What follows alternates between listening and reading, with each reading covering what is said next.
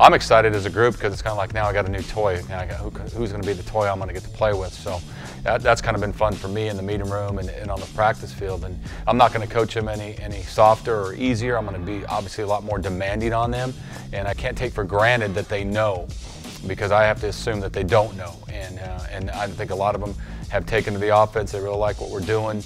They like the up pace, the tempo. But uh, it's going to be in their hands to see who's going to be the starting quarterback. But the guy that's going to have the, win the starting job will be the guy who can lead this team and put points on the board.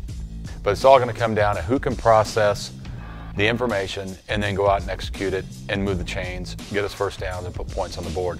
And that's probably anywhere in the country.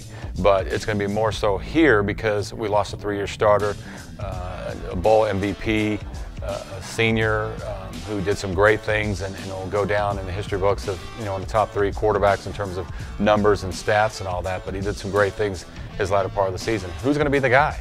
They're, they're so different, and, and all of them, all of them have strengths, all of them have some weaknesses that we got to we got to take those weaknesses, and make them strengths, and we got to play off their strengths and make them even stronger than they are now. Hey, go again. I want to, I want you to lock your shoulder quicker.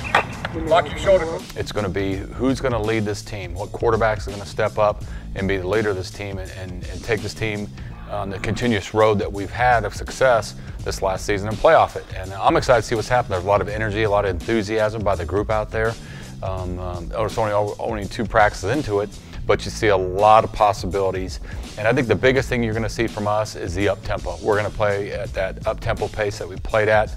And you saw, and our kids feel comfortable with it. Like playing at that pace. They feel like we can create an advantage um, over the defense and, and, limit maybe some of the calls they're doing. A lot of people are doing it on the collegiate level. You see it, and it's even matriculating into the NFL. And, and when people are playing at fast pace, it limits what a defensive coordinator can do.